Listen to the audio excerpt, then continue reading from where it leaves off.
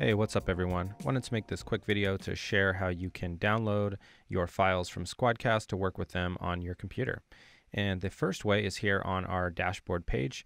Looks like we have our awesome session and this has two recordings. So if we click on this session, we can see that we indeed have these two recordings and um, we want to download them for this video. So we have this menu icon to the right of each file name.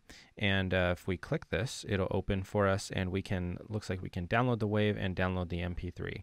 So I'll go ahead and choose the wave file and that will download um, into Chrome or Firefox or whatever your browser is. It'll download to your computer and you can actually work with it um, on your computer. So if we click show in Finder, we can see uh, some information. Looks like it is the correct length and you know size and all that stuff, and we can actually work with this file within uh, Audition or Pro Tools or something along those lines.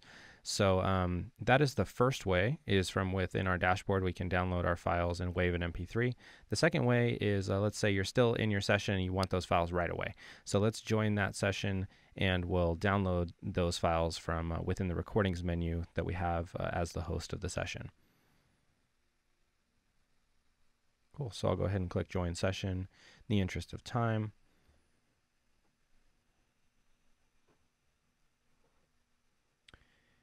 And here we are back in our session. So the recordings menu is down here in the bottom left corner. You can see we have a, we have a little indicator to show us we have two files there.